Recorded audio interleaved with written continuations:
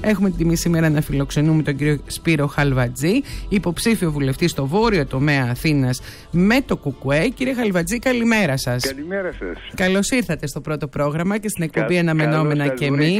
Λέω ότι έχουμε την τιμή γιατί είσαστε ένας άνθρωπος ο οποίος γνωρίζετε καλά την πολιτική. Έχετε μακρά εμπειρία από την πολιτική και νομίζω ότι σας χρειαζόμαστε περισσότερο από ποτέ τους παλιούς πολιτικούς, ε, παλιούς εισαγωγικά, τους ανθρώπους δηλαδή που έχουν πολιτική εμπειρία. Ε, όλα χρειάζονται και η εμπειρία και η νιώτη, τα πάντα χρειάζονται. Αρκεί να παντρεύονται σωστά, ε; αρκεί να συνδυάζονται σωστά.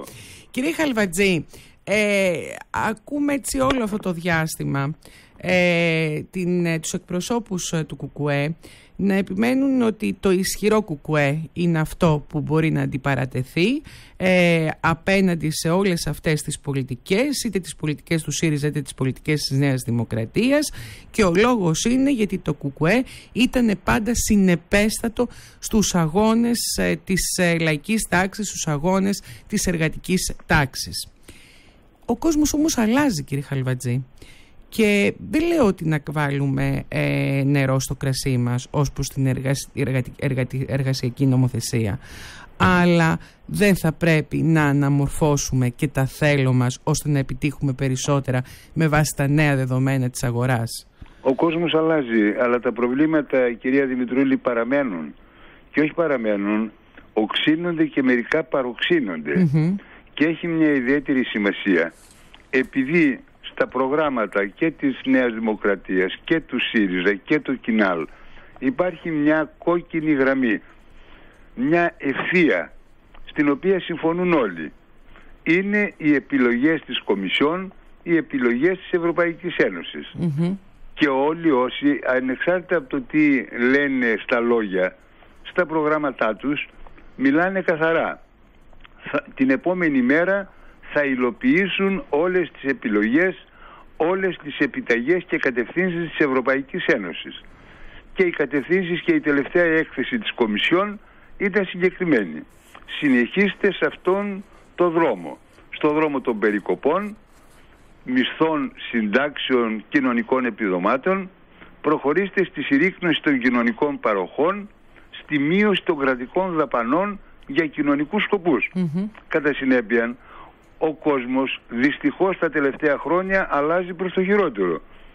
Και τα αιτήματα, οι απαιτήσεις, η ανάγκη να ζει ο άνθρωπος με βάση τις σύγχρονες ανάγκες του βγαίνει στην επιφάνεια ακόμα πιο καθαρά.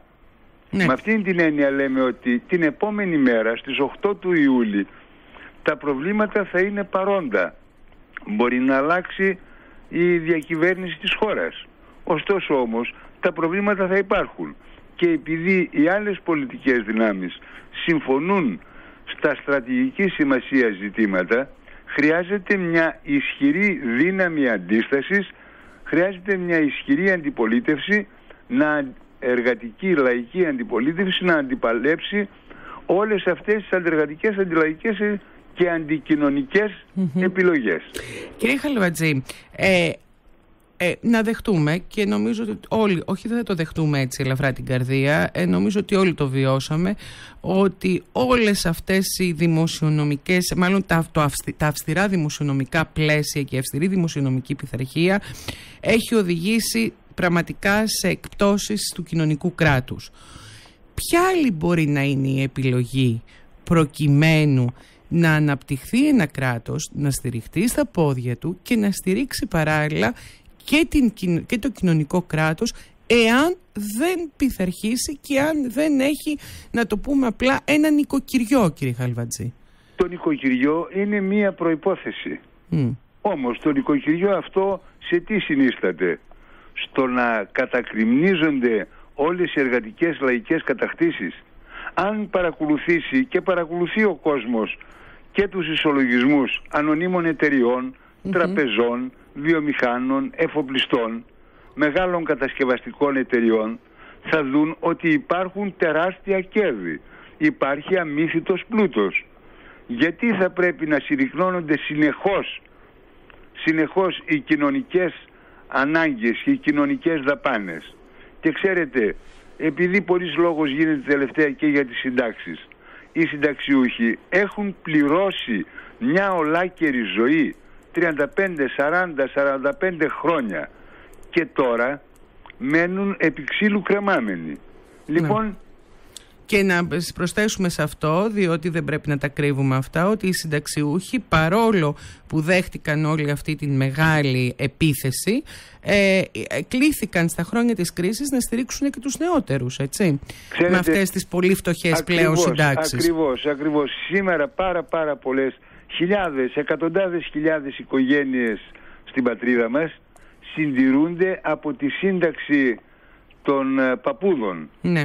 Αυτή είναι η πραγματικότητα. Κοιτάξτε να δείτε τώρα τι γίνεται κύριε Χαλεβατζή, τι σκεφτόμουν. Σκεφτόμουν το εξής τώρα που λέγατε για το μεγάλο κεφάλαιο, για τα μεγάλα κέρδη και πράγματι έτσι είναι και σε παγκόσμια επίπεδο. Ε, φαίνεται όμως και εδώ διαπιστώνουμε ότι οι πολίτες επιλέγουν ε, να ε, κυβερνήσεις οι οποίες δεν υπερφορολογούν τα μεγάλα κέρδη και ο λόγος είναι ότι σου λέει δεν θα μου τα δώσει ποτέ αυτή τη φορολόγηση ο μεγάλο επιχειρηματίας, αυτός που έχει τα πολλά κέρδη θα καταφέρει στο τέλος να έρθει ε, ίσα βάρκα ίσα νερά απολύοντας κόσμο.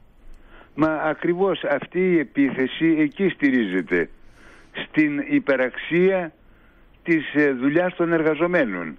Αυτό προσπαθούν. Γι' αυτό η βασική κατεύθυνση της Ευρωπαϊκής Ένωσης είναι οι περικοπές, οι μειώσεις μισθών. Και ξέρετε, δεν είναι μόνο στην Ελλάδα. Η Γερμανία δεν έχει μνημόνιο. Αλλά είναι εκατομμύρια οι εργαζόμενοι οι οποίοι αμείβονται με 500 ε, και 600 ευρώ. Η Γαλλία δεν έχει μνημόνιο. Ναι. Οι, οι ε, περικοπές στις κοινωνικές δαπάνες είναι τεράστιες. Αυτή είναι η πραγματικότητα. Εσείς τα φωνάζετε αυτά, αλλά γιατί όμως δεν υπάρχει, ε, δεν υπάρχουν βίκο αότα, γιατί δεν ανεβαίνει το ποσοστό ε, της αριστεράς, της ευρωπαϊκής αριστεράς, παρά το γεγονός ότι επισημαίνεται όλα αυτά; Να πάρετε υπόψη σας ότι μέχρι την τελευταία στιγμή τα αστικά κόμματα, τα κυβερνητικά κόμματα προσπαθούν να δώσουν ψίχουλα, να καλλιεργήσουν ελπίδες, αυταπάτες, προσδοκίες να κάνουν προσλήψεις, διορισμούς, να χτυπάνε τους ανέργους στην πλάτη και να τους λένε ψηφίστε με και την επόμενη μέρα θα σας τακτοποιήσω, θα σας βολέψω, όσο και αν έχουν στενέψει τα περιθώρια και γι' αυτό. Ωστόσο όμως ε, καταφέρνουν να εξαπατούν εργαζόμενους, να εξαπατούν ανθρώπους οι οποίοι ζουν ε, στα όρια της φτώχειας. Για να ανατραπεί αυτό κύριε Χαλεβατζή πώς μπορεί να συμβεί αυτό; Μήπως τελικά δεν υπάρχει ένα εναλλακτικό πιστικό σχέδιο; Χρειάζεται αγώνας. Το ΚΚΕ έχει σχέδιο και για το σήμερα και για το αύριο. Να σας θυμίσω ότι ε, κατέθεσε το ΚΚΕ επανειλημμένα στη Βουλή ολοκληρωμένες και σε αυτές τις συνθήκες και για την ε, ε, μείωση της φορολογίας και για να ε, καλυφθούν όλα όσα έκλεψαν από το 10 και μετά από μισθούς, συντάξεις, κοινωνικά επιδόματα κατέθεσε μια πρόταση από 545 σωματείων, κέντρων, ομοσπονδιών που ήταν μια συνολική πρόταση για την βελτίωση της ζωής των εργαζομένων. Και ναι. βεβαίως δεν μένουμε εκεί εμείς παλεύουμε για να δημιουργηθούν όροι, συνθήκες και προϋποθέσεις για βαθύτερες αλλαγές.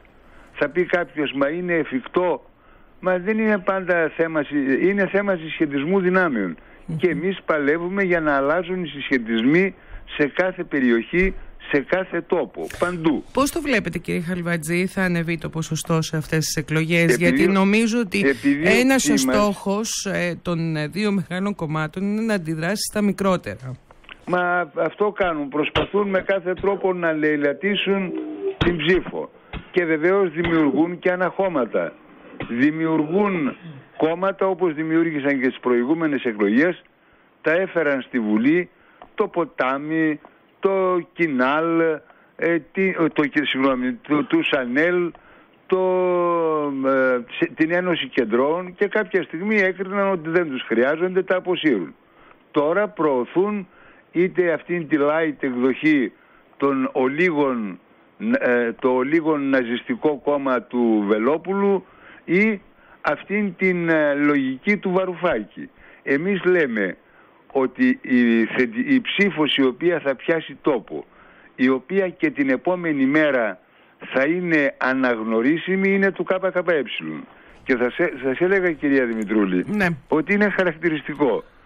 Ε, στις προηγούμενες εκλογές εκλέχτηκαν πολλά κόμματα.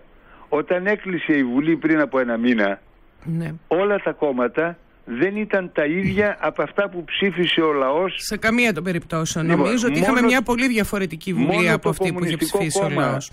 Μόνο το Κομμουνιστικό Κόμμα εξέλεξε 15, 15 βγήκαν και την τελευταία μέρα. Μάλιστα. Έχει σημασία λοιπόν. Η συνέπεια. Και, ναι. και αυτό που λέμε ότι υπάρχουν χίλιοι λόγοι για να ψηφίσει κάποιος το ΚΚΕ.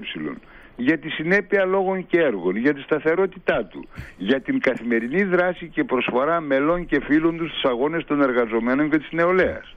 Για τους αγώνες που δίνουμε διαχρονικά για την εθνική ανεξαρτησία ενάντια στις βάσεις του θανάτου που εκτός των άλλων είναι και ένας μαγνήτης σε ενδεχόμενη γενικότερη ε, σύραξη.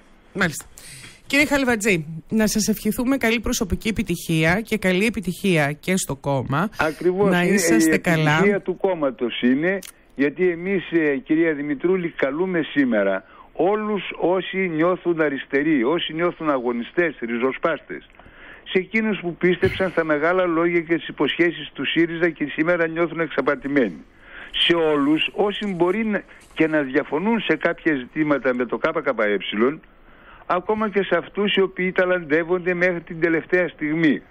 Σε αυτούς που με κρύα καρδιά έφτασαν στην Γάλπη και την τελευταία στιγμή δίστασαν να ρίξουν το ψηφοδέλτιο του Κουκουέ.